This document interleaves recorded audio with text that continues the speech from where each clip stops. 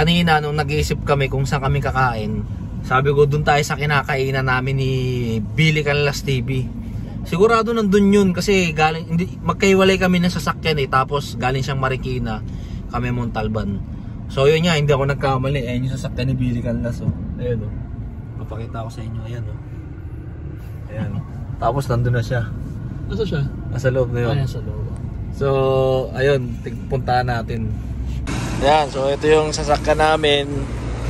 Sasakyan ni Billy Canlas TV. Ayan. Sabi ko sa inyo, nandito yan eh. Puntahan natin. Ayan. Naghahanap kasi kami ng kakainan kanina. Sabi ko doon tayo sa kinakainan namin. Oh, ito na nga oh. Nandito na oh. Oh. Yo, what's up mga kanokma? Oh, ayun oh. Di ba? Hindi, hindi ako nagkamali. Doon din yan sa kinakainan namin eh. Aga natin, magandang maaga. Kanina ka pa dito? Mga ano na, 10 minutes. Oh, maraming ang pasabay.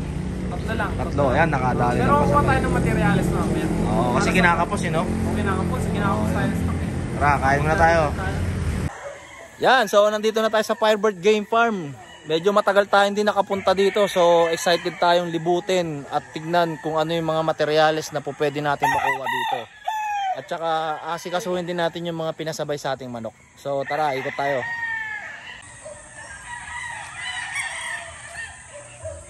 Ayan, so kukuha muna tayo ng Maclean na ano. Ay, Ayan, kukuha tayo ng yellow legged hats na class AB para kay Sir Aaron. Ayan.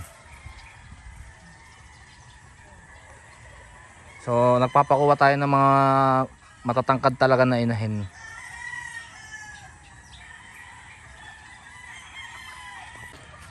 Ayan, so ito yung first choice natin para kay Sir ah, Kidnan Smith. Ito to. Ayan. Yan. So pupunta tayo ngayon sa range para tumingin pa ng mas ano, mas ah, maganda dito kung sakaling makakahanap tayo. So ito lang yung kinuha natin ngayon. Ah, tinago na natin tapos pumunta tayo ngayon sa range. Yan, so pupunta kami ni Billy Canlas TV tsaka ni Ninong Art Canlas sa range kasi nagkakaubusan talaga. So, So- sa kabila, sa stag. Sa stag siya.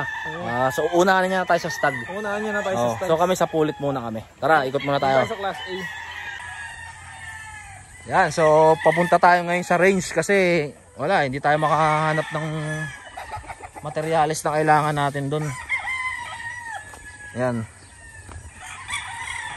So kuha tayo ng class A. Yan, doon pa rin. Ito yung mga ano, yung personals nila na mga manok. Ayan. Karamihan dito mga nanalo na. Ang gwapong ano to. oh. Gwapong manok to.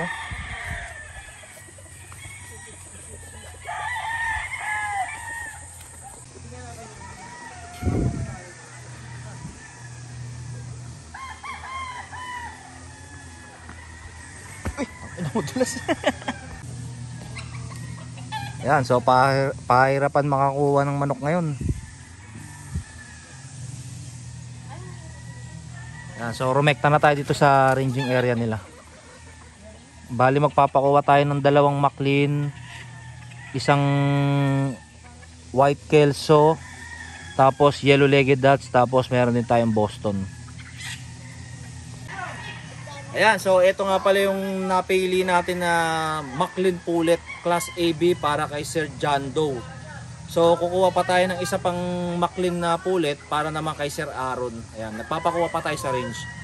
So ito yung para kay Sir John Doe. Ayan. Ayan, so napapalaban si Kuya sa paghanap ng Boston Roundhead na babae. Ayan, tapos meron pa tayong yellow legged dots, yun pa yung kulang natin.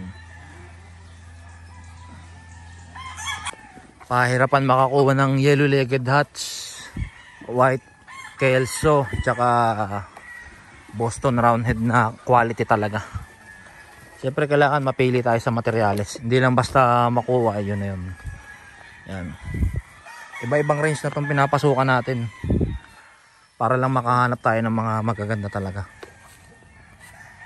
Yan, so ito nga pala yung pinasabay sa atin na white white kelso class A na pulit, super sweater class A, tapos ah, super sweater na class A pulet para kay Kidnan Smith Game Farm. Tapos ah, sa manager niya na si Chris Ford. Ayan, so ito yung napili natin na trio sa kanila. All class A po yan. Ito po para kay Sir Aaron Bagto. Yan. Class A na white kelso. Yellow legged Dutch na class AB. Regular gray na class A. Tapos class AB na white kelso. Tsaka isang Maclean Hatch na class AB. Yan. Para kay Sir Aaron Bagto ng Baguio. So, ito naman yung white kelso ni Sir JP Pugueros ng Canada. Ayan. Class A yan na white kelso. Ayan, napakagwapo. Straight, ah, picom, white leg, tsaka purong puti talaga siya. So, ayan, kay Sir JP Puguero ng Canada. Ayan.